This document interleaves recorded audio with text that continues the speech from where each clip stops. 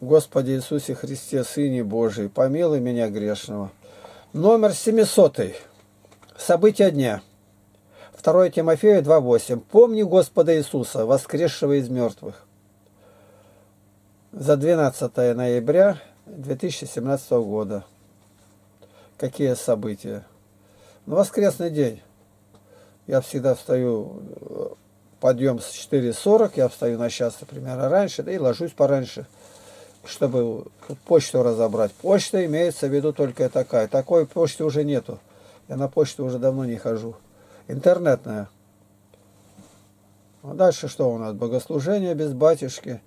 Собрание сразу. Собрание просят, чтобы выставлять не через неделю, 10 дней там, а сразу. И сегодня ночью уже загрузил. Сегодняшний дня постараюсь медленно-медленно грузить. А мне надо около 7-8, может, часов один ролик загрузить. А он большой ролик-то. Больше часа, наверное. Ну, а потом что? Остаются, после собрания люди обедают, песнопение поют и занятия. А после занятий идут кто на благовестие, кто куда. А я дома. А у меня что тут? Кошек накормил, голубям слазил. Ну и смотрю тут, знания повышаю. Вчера опять много времени я отдал все, а, где были бункеры у Гитлера, посмотрел документальные. И он сказал, говорит, а меня не убьют. Покушений больше 20 было, и серьезное покушение. Со взрывами. Нет, говорит. То есть он знал это, на себя руки наложит, это можно. Ну и вот Наталья Чернова пишет, она была летом у нас в гостях с сыном Илюшей. Игнатий Тихонович, хочу вас проконсультироваться. Нашла интересные лекции про Каина. Видеозаписи Евгения Алексеевича Авдеенко. Начала слушать с вводной. Там их, кажется, еще три будет. Как мне показалось, они очень глубокие для понимания, откуда берется человеческий грех. Всегда хотелось это знать. Подскажите, не вредно ли будет слушать? Вот ссылку дает. Я отвечаю. Видите, каждому надо ответить. Вреднее даже и некуда. Послушал, и сразу же мне не понравилось вольное толкование Священного Писания. И даже вопреки святых отцов Вселенской Православной Церкви. А тут и материал подвернулся об этом Абдеенко оккультисте. И вот показываю, где место и прочее. Даже не хочу пересказывать. И он умер. Неизвестно, что такое. Рустам, отдельное вам спасибо за рубрику «События дня». Это гораздо лучше новостей по Первому каналу. Понятно, что такое Первый канал, я не знаю даже. И далее. Кавычки открыты. Люди, ничего не знающие о Боге или имеющие о нем самое смутное, ложное представление, научаются купаться в проруби на крещение, креститься у икон – да еще и лбом стукнуть, ставить свечи, и все это без Христа. Ну, сектант какой-то говорит, еретик, баптист или кто.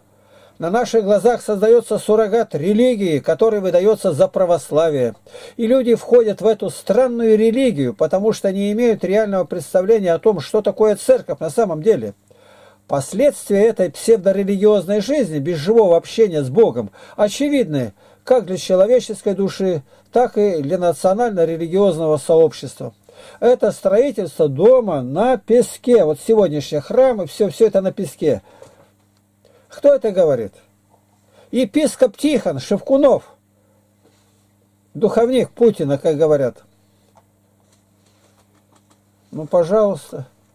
Наконец-то заговорили о том, о чем я кричу, на меня нападают. Рустам, Бог мой отец и церковь моя мать. Один наставник в наше время во Христе, в это вы, Игнатий Тихонович. Друзей у меня нет совсем, жены нет тоже. Поэтому живу по кругу, дом, работа, храм. Ни одного апостола в России. А вы, чем не апостол? Четыре восклицательных знака. У вас мне учиться, учиться, еще раз учиться. Хоть в чем-то прав был лысенький пигмей. А я тогда, это где лысенький-то пигмей? Посмотрел, а, вон откуда он взял это слово. Это моя статья была в газете «Молодежь Алтая». Я про Ленина там говорил. Надо найти будет, лысенький пигмей. Игорь Домщиков. Вот я говорил об этом, Рустам, когда начинает вот так вот там лишнее, ну там сравнивать где-то, я настороже, думаю, вот-вот на меня поднимется. Вот такое у меня предчувствие как бы всегда бывает. Игорь Домщиков, 42 года мне. У меня такое ощущение, что рождаюсь заново, а роды протекают медленно. Ни разу не покаялся я в церкви, но душа поет, я слышу. Когда смотрю на вас и на Сергея, заточенного в своей кровати, вы, Божьи посланники, посланы мне, чтобы даже хотя и так, и медленно, но приходить к Нему. К Нему с большой буквы. Спаси Христос вас за рассылку своих стихов и за стихи из Божьих книг. Всегда смотрю, слушаю и слушаюсь вас, мирянин я, и надеюсь.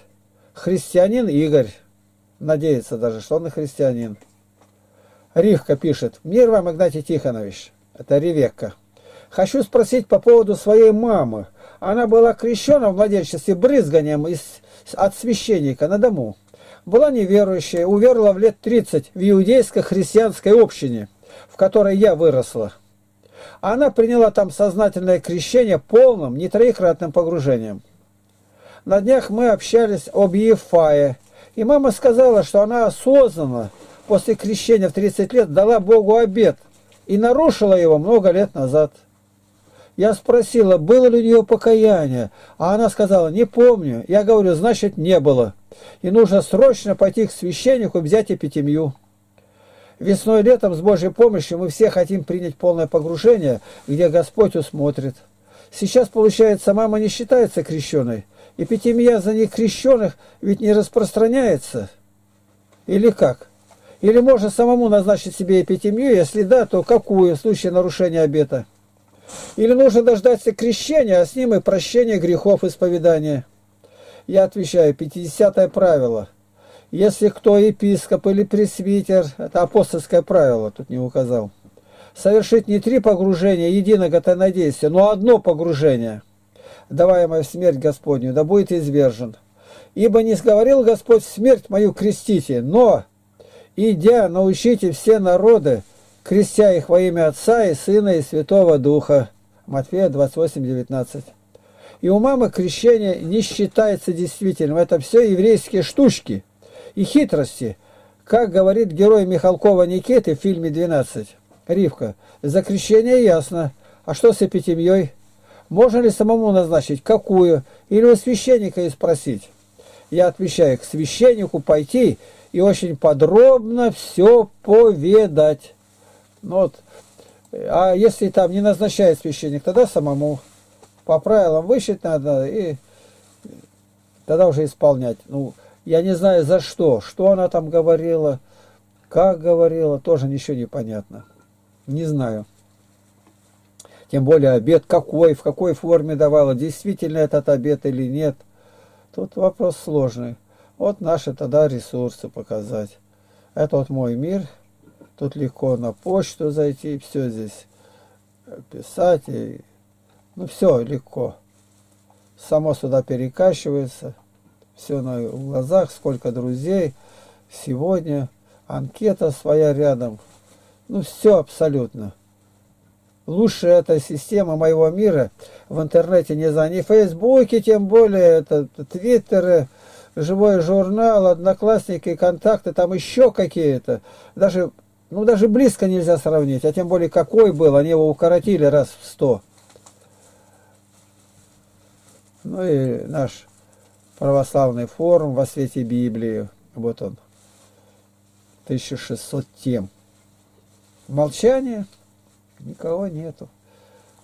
Так никто не ходит. Да нет, заходит иногда на наш форум. Меньше 300 не бывает почти. В среднем сейчас сколько я посмотрю. Ну, в среднем 308. Вот. 299, а там было 400. Ну, так уравнивает. Ну и наш православный видеоканал «Открытым оком во свете Библии». Большой канал. 8600 роликов. Примерно так. Туда-сюда, один-два дня.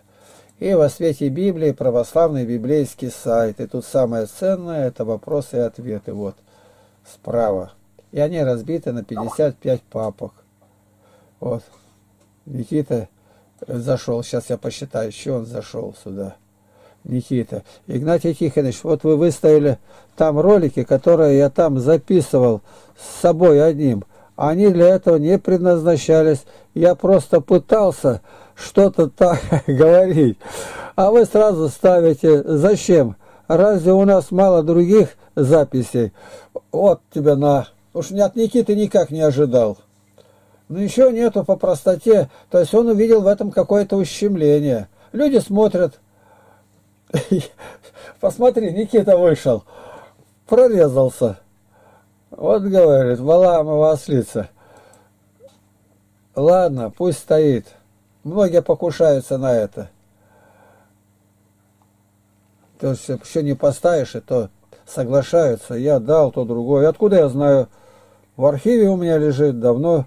Я архив маленько растеребил.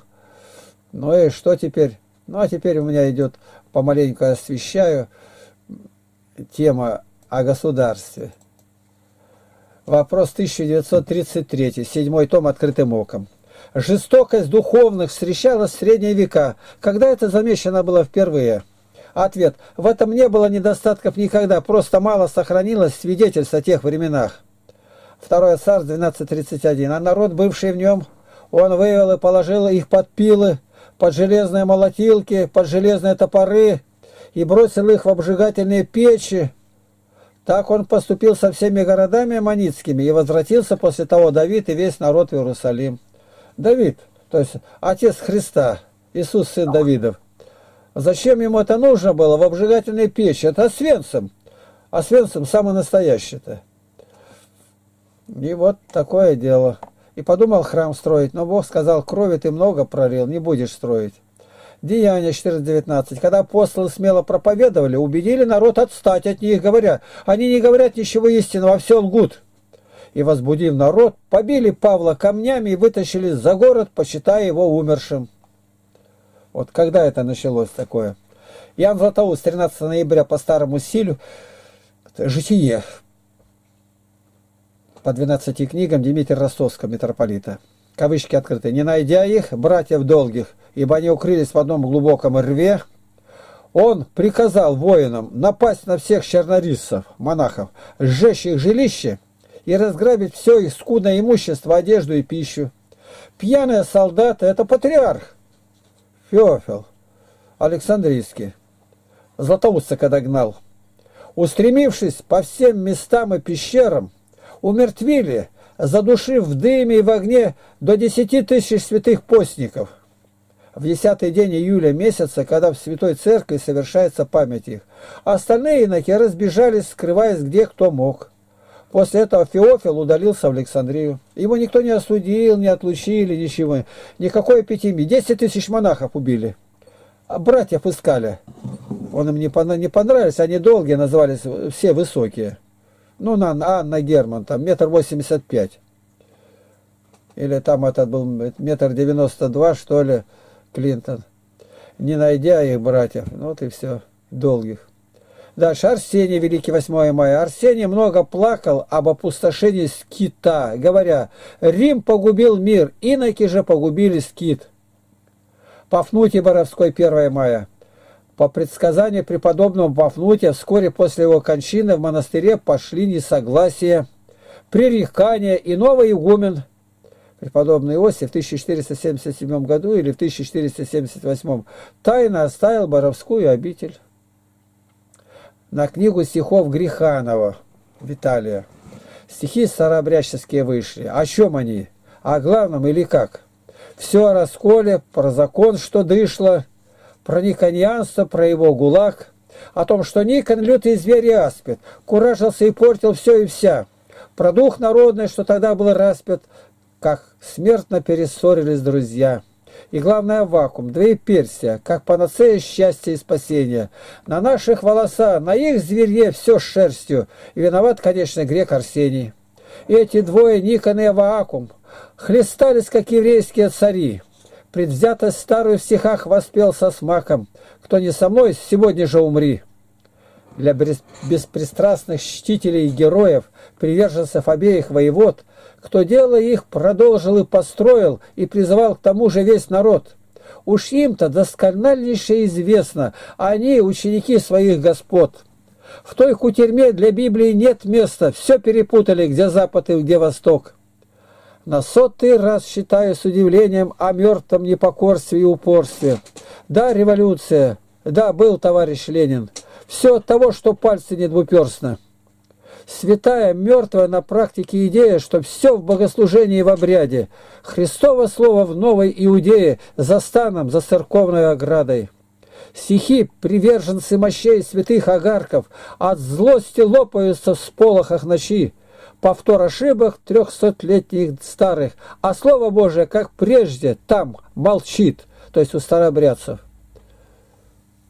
25 июня 2003 года. Все вспоминаю, как Песков писал, Василий Михайлович, когда беседовал первый раз с Карпом Иосиповичем и говорит, что война была – как, война была?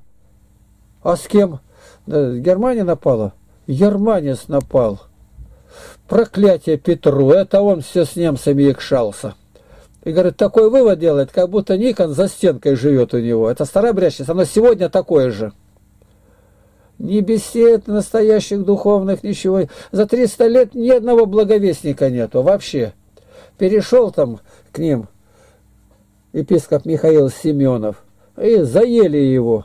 И он, главное, принимал, которые приходят от старообрядцев новообрядческой церкви, -то, без изменения обряда. Ну, можете креститься и триперстно. Они за это заели его.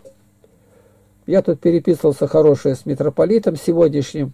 Ну, просто хорошая переписка была, книгами обменялись. И он говорит, я много нашел в ваших книгах нового, интересного, полезного. Вот так выразился. Но я тогда знаю, говорю, у нас старообрядцы есть, раньше ходили, а сейчас запретили им. Мы же не заставляем, мне, я тоже двуперстно крещусь, никто их переходить не заставляет. Ну что, вместе не шатались они по деревне, там молились-то. Он сразу ответил, нет, у нас это не положено. Что? А ну как они три пальца вместе сложат и все, и помрут, наверное, так думают. Вот пока говорил, кто-то зашел в скайп. А, Тадики-то и зашел. Прошу вас, уберите их. Вот просят, Никита, уберите их. Ну, что это такое? Еще добавил-то. Видишь, просят, уберите их. Ну, не убирай, дальше еще он будет делать. Пусть постоит. Это э, неладно, что задело его. Ну, на этом пока на сегодня все.